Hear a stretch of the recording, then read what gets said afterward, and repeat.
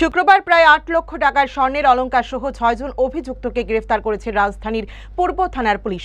শহরের বেশ কয়েকটি চুরিকাণ্ডে অভিযুক্তরা জড়িত বলে দাবি পুলিশের। এদিন রাজধানীর পূর্ব থানার আয়োজিত সাংবাদিক সম্মেলনের মাধ্যমে এ ব্যাপারে বিস্তারিত তুলে ধরেন সদর পুলিশের এসডিপিও দেবপ্রসাদ রায়।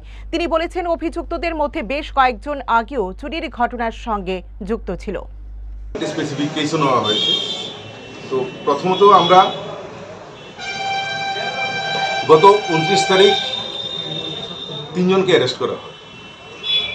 তার মধ্যে সুজিত দাস, জুমন মিয়া, আরেকজন হচ্ছে অন্তর দেববর্মা।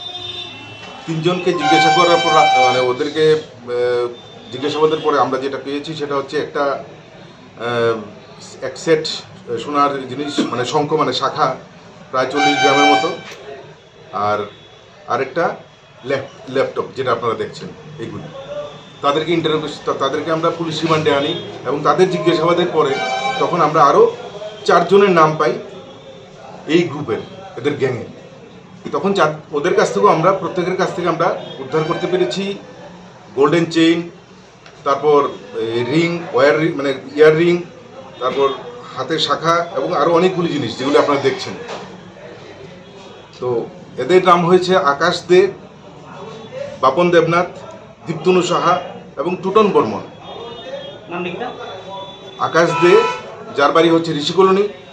বাপন দেবনাথ যার বাড়ি হচ্ছে তুলাকোনা। আরেকজন হচ্ছে দীপ্তনু। ওর বাড়ি হচ্ছে মহেশখোলা।